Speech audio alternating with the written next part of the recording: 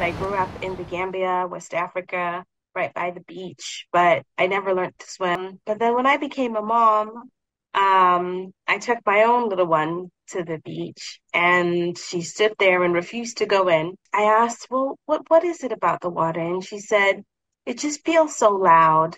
And and I feel like she finally articulated what perhaps I had been feeling without really understanding. Um, the Gambia has these massive crashing waves, so it is actually very, very loud.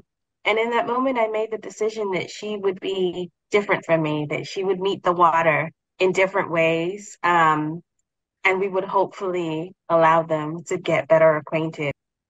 Uh, we actually lived in Sweden at the time, uh, where we're very fortunate to have a lot of quiet lakes, uh, calmer beaches, community pools. So over a successive years, we visited various waters and without knowing the story was writing itself in my head. And I think she was about five or six one day where we were sitting at an Airbnb that had a massive pool and she just jumped right in and I almost lost my lost my breath.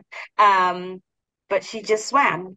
Um, and as she popped back up, she said, Well, it, it feels just right. And and that was when I knew the story was set.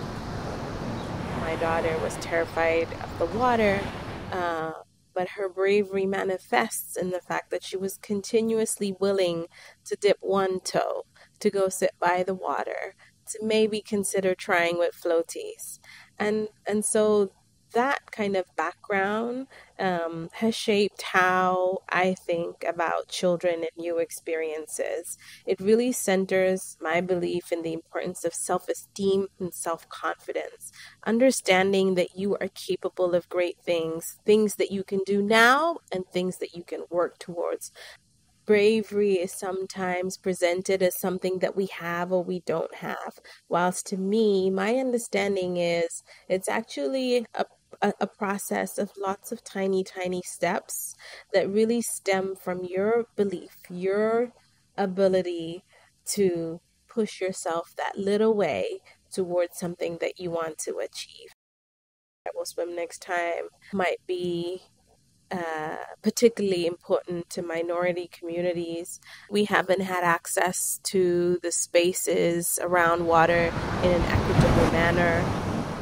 And so it felt like the story needed to be written not just for my little one, but also for our community to say something big and bold, like we will swim next time. Um, but I had a very strong intention that the book would hopefully connect to my community.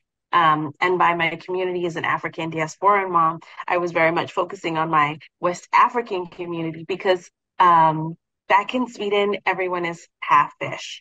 it's part of the school curriculum, which I think is really brilliant because then children understand that it's it's fun, it's lovely, but it's also a life skill. So I hope that my book can serve as an invitation to the water for the community um, as one of the goals beyond it being a beautiful story for children to also um, be able to access the water.